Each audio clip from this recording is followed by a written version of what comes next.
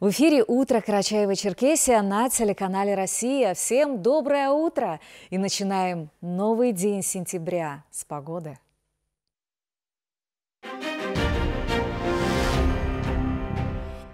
В Карачаево-Черкесии преимущественно без осадков. Ветер восточный 6-11 метров в секунду. Днем будут порывы до 15-18. Температура ночью 8-13, в горах до плюс 7, а днем 19-24 градусов тепла и местами до плюс 19. В южных районах местами высокая пожароопасность 4 класса. В Черкеске без осадков, ветер восточный 6-11 метров в секунду. Днем будут порывы до 15-18. Температура ночью 11-13, а днем 21-23 градусов тепла.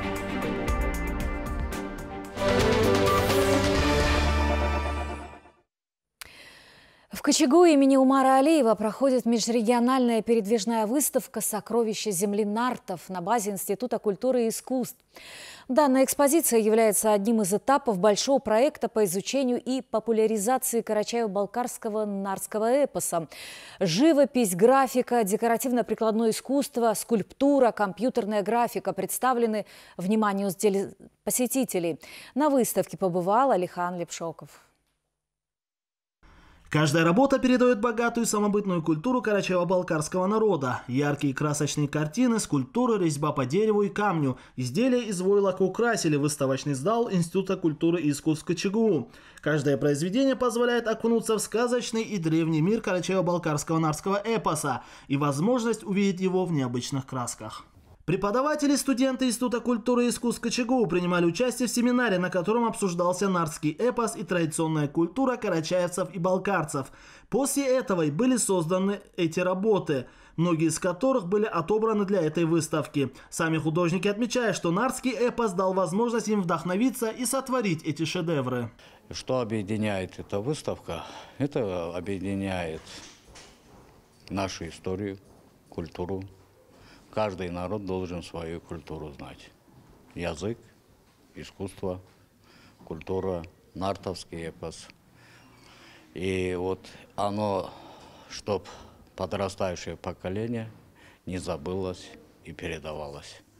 Эта выставка имеет большое значение в плане сохранения и популяризации наследия народов Северного Кавказа. В этих чудесных произведениях искусства отображены сцены из нарского эпоса и богатая культура карачаево-балкарского народа. Очень э, приятно и отрадно, что в экспозицию основную вошли работы не только именитых преподавателей, но и студентов.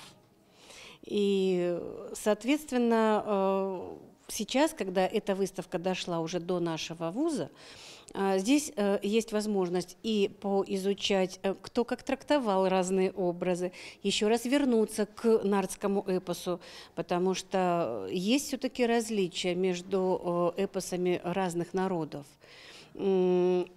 Учитывая, что студенты у нас из разных регионов, это очень такой хороший опыт.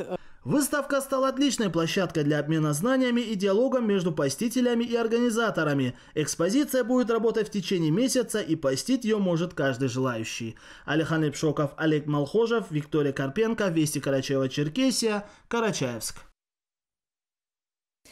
Представители управления Росгвардии по Карачаево-Черкесии приняли участие в первенстве регионального совета «Динамо» по перетягиванию каната среди сотрудников правоохранительных структур, которое прошло в рамках столетия образования Всероссийского физкультурно-спортивного общества.